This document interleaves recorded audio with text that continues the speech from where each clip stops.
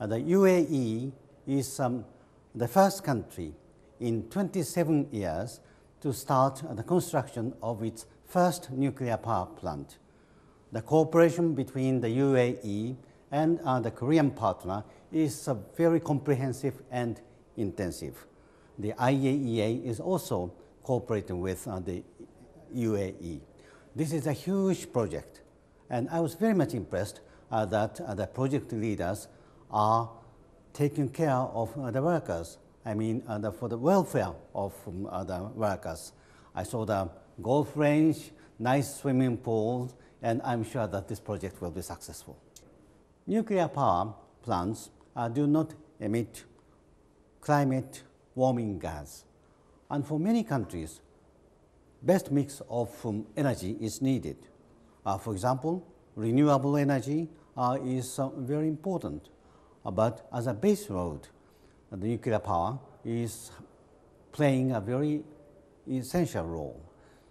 And um, uh, other resources like um, coal or gas have um, a role to play. but the good mix is uh, the option for many countries, and nuclear has a role to play. Since this uh, project was um, uh, planned in 2008, the IAEA was involved. We have been cooperating with the UAE in the planning of uh, this project, and we were involved in uh, the capacity building of um, the, the engineers and other people. Even after uh, the completion of the project, uh, we need uh, to work with uh, the UAE uh, to ensure, to help to ensure the highest level of um, uh, safety, then the, of the operation and emergency preparedness and um, handling of the waste, for example. So the cooperation will continue even after the completion of the construction.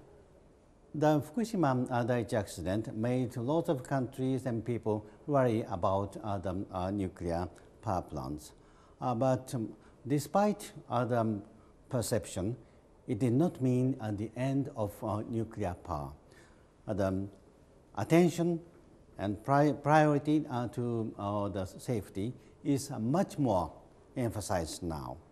In my view, and according to the estimate of the IAEA, there will be continuous and steady expansion of nuclear power in the world. Of course, uh, the pace of um, expansion is slower uh, than we estimated before, and I need to stress that more emphasis is placed on the safety.